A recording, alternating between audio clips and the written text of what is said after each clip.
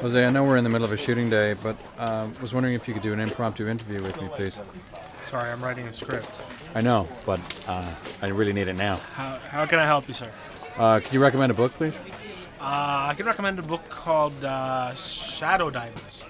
Um, I can't remember the name of the author. It's a nonfiction book about these guys up in New Jersey who find uh, a sunken U-boat.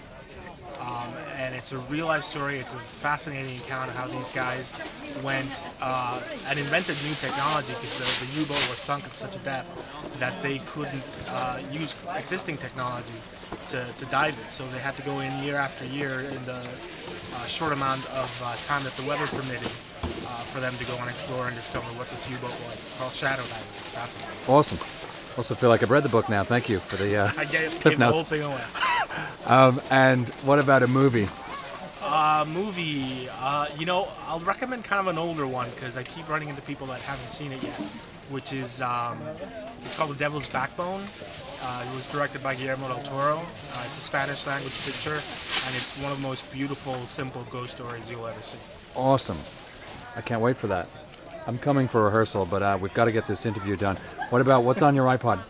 Uh, my iPod has a lot of older stuff. I got uh, Beatles, I got Pink Floyd, got a lot of 80s stuff. What are you listening to right now? Um, the latest band that I discovered, I found on uh, Conan O'Brien's show, called The Joy Formidable.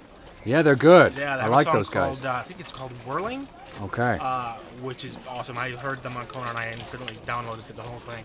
What's Joss Whedon like in real life? Uh, he's much shorter and fatter.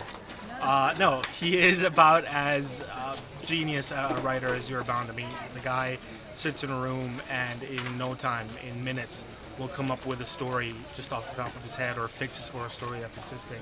He, he's just he puts every other writer, including myself, to shame. And if you weren't a writer, what would you be? Uh, dead. Uh, I would probably be. My parents wanted me to be a lawyer, but I didn't want to do that. I'd probably be a teacher. Um, in uh, in an alternate uh, existence where I am, where my life is very different, I would have loved to have been a school instructor. Awesome. Thank you very much, Jose. Now we got to shoot this show. All right, good luck. Bye.